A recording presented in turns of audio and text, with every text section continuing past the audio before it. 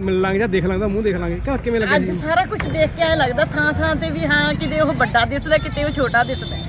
ਐ ਲੱਗਦਾ ਵੀ ਕਿਤੇ ਉਹ ਵੱਡੇ ਰੂਪ 'ਚ ਦਿਸ ਰਿਹਾ ਹੈ ਵੀ ਹਾਂ ਸ਼ੁਕਰ ਹੈ ਪ੍ਰਮਾਤਮਾ ਇਸ ਘਰ ਨੂੰ ਭਾਗ ਲਾਈ ਇੰਨਾ ਜ਼ਿਆਦਾ ਤਿੱਗਣਾ। ਜਿਹੜੀ ਅੱਖਾਂ 'ਚ ਹੰਝੂ ਆ ਰਹੇ ਇਹਦਾ ਕੀ ਕਾਰਨ ਹੈ? ਬਲਕਿ ਇਹ ਖੁਸ਼ੀ ਦੇ ਵੀ ਨੇ ਤੇ ਉਹ ਪੁੱਤ ਨੂੰ ਯਾਦ ਕਰਕੇ ਵੀ ਹਾਂਜੀ। ਪਿੰਡ ਕਿਹੜਾ ਆਪਣਾ? ਵੈਸੇ ਪਿੰਡ ਤਾਂ ਸਾਡਾ ਸੱਤਾ ਸਿੰਘ ਵਾਲਾ ਹੈ, ਤੇ ਪਰ ਅਸੀਂ ਰਹਿੰਦੇ ਪਟਿਆਲੇ ਆ।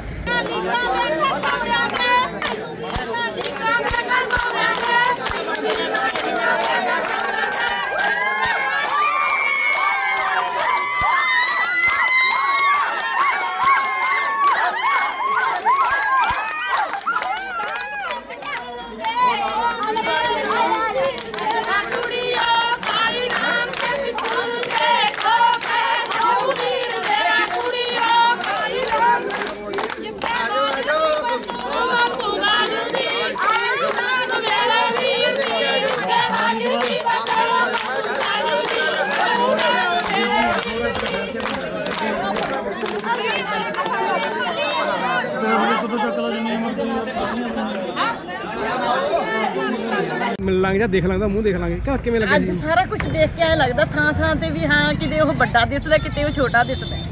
ਐ ਲੱਗਦਾ ਵੀ ਕਿਤੇ ਉਹ ਵੱਡੇ ਰੂਪ 'ਚ ਦਿਸ ਰਿਹਾ ਹੈ ਵੀ ਹਾਂ ਸ਼ੁਕਰ ਹੈ ਪ੍ਰਮਾਤਮਾ ਇਸ ਘਰ ਨੂੰ ਭਾਗ ਲਾਈ ਇੰਨਾ ਜ਼ਿਆਦਾ ਤਿੱਗਣਾ। ਜਿਹੜੀ ਅੱਖਾਂ 'ਚ ਹੰਝੂ ਆ ਰਹੇ ਇਹਦਾ ਕੀ ਕਾਰਨ ਹੈ? ਬਲਕਿ ਇਹ ਖੁਸ਼ੀ ਦੇ ਵੀ ਨੇ ਤੇ ਉਹ ਪੁੱਤ ਨੂੰ ਯਾਦ ਕਰਕੇ ਵੀ ਪਿੰਡ ਕਿਹੜਾ ਆਪਣਾ? ਵੈਸੇ ਪਿੰਡ ਤਾਂ ਸਾਡਾ ਸੱਦਾ ਸਿੰਘ ਵਾਲਾ ਹੈ, ਤੇ ਪਰ ਅਸੀਂ ਰਹਿੰਦੇ ਪਟਿਆਲੇ ਆ।